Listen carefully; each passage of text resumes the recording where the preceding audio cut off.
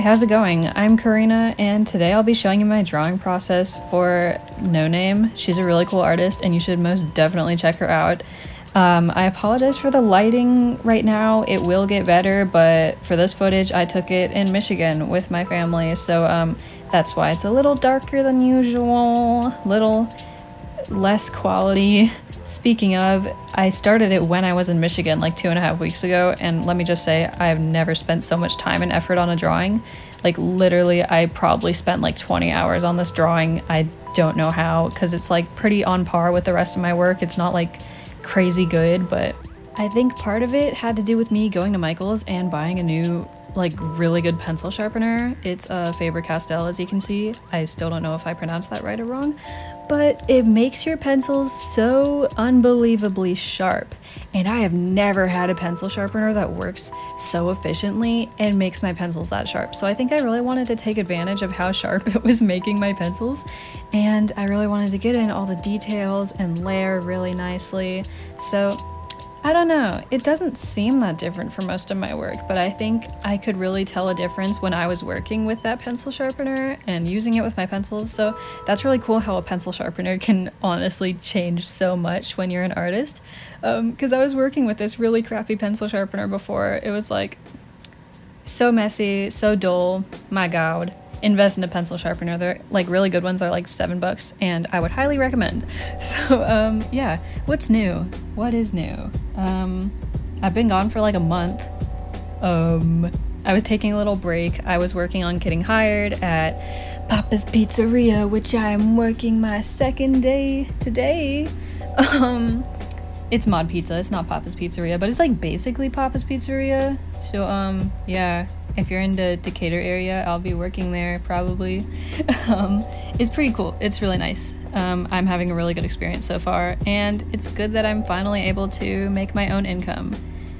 Oh, here we are with the better lighting um, back at home.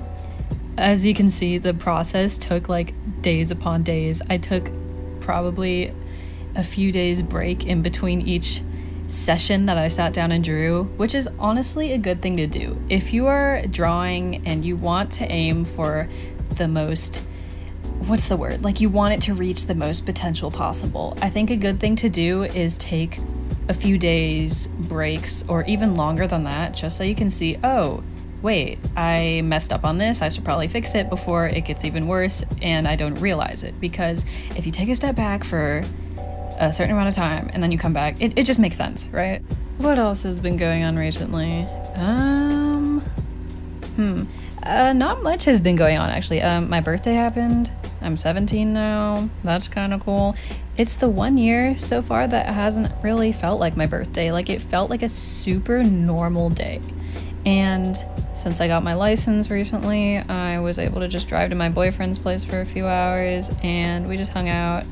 Um, yeah, we just kind of flopped around for a few hours. Not in like a weird a, a weird way, but we we just hung out. Yeah, it was really cool and I had a really great day. He gave me one of those um stuffed bears with like the tiny heads and the really big bodies.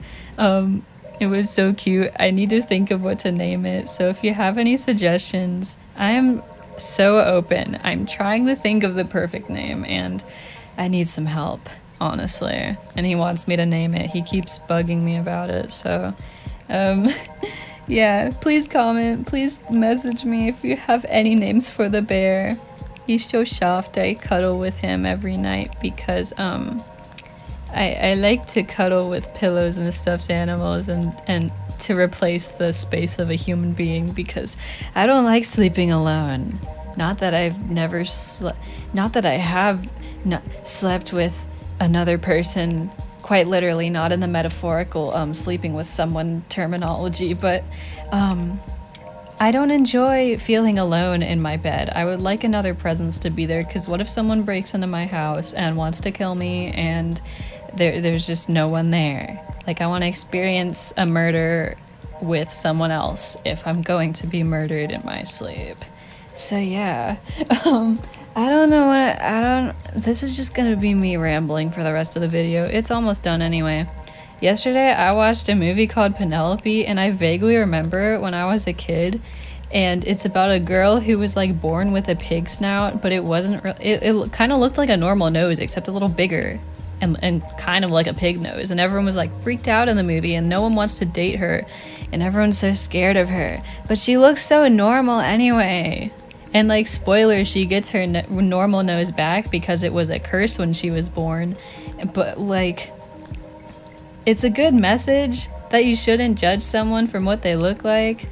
But I don't know. They made people overreact over a freaking pig like nose. She wasn't even a real pig. She was. Anyway, the video is wrapping up. This is the final piece. Um, yeah, I think it turned out okay. I'm kind of proud of myself. And um, if you like it, give it a like. Give the video a like. Or you can go to my Instagram, it's in the description, and you can look at it ag- again you can look at it again for a second time.